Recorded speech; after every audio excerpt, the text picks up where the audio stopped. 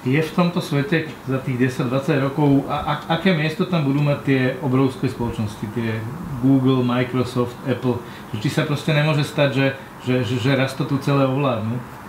Ja si myslím, že, že že vyhrajú spoločnosti, ktoré budú mať veľa dát, pretože práve tie machine learning eh, algoritmy rátajú s veľa dátami. Presne oni robia. Presne oni robia. Pre, presne aj my sa snažíme robiť s tým, že chceme urobiť eh, našu aplikáciu alebo teda ten, tú technológiu tak, aby sme ju integrovali čo možno do najviac systémov či je to Internet of Things, eh, či sú to vočky, alebo sú to automobily, alebo sú to smartfóny, alebo sú to rôzne aplikácie, že vyslovene tú technológiu otvoriť, aby sme mohli integrovať ďalšie aplikácie a získavať dáta a potom zlepšovať aktivity algoritmy.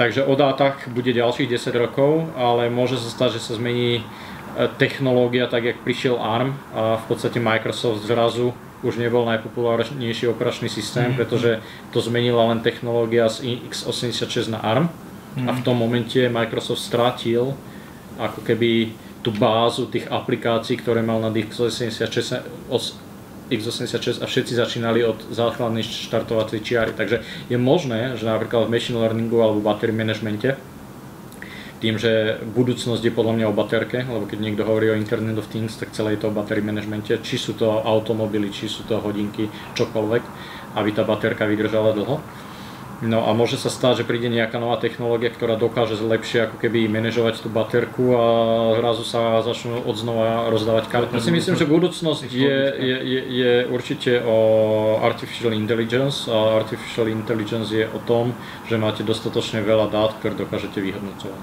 Uh-huh. A nebojíte sa nejaké, lebo to sú také tie katastrofické filmy, filmy jak, jak, jak ovládne jedna spoločnosť celú planétu.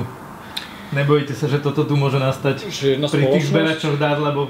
Ja si myslím, že keď jedna spoločnosť ovládne celú planetu, tak uh, tú spoločnosť ovládne samotný systém, takže to už je potom také zhltnutie sa do seba. Uh-huh. Skôr, ja, ja, nie, ja som není zastanca tých takých katastrofických systémov. Väčšinou v histórii ľudstva sa vždy ukázalo, že ako náhle ľudstvo dospelo do situácie, kedy malo nejakú technológiu, ktorá môže zabiť ľudstvo alebo zničiť ľudstvo, tak začali s ňou opatrne narábať. A to sa stalo s atomovou bombou, keby ste to mhm. dali 500 rokov dozadu niekomu, tak tu možno vybucha celý svet tým. Mm. Ale ako náhle si zoberte, že vymysleli atomovú bombu, každý, ja neviem koľko desiatok tisíc ich existuje a minuli sa dve. Hej.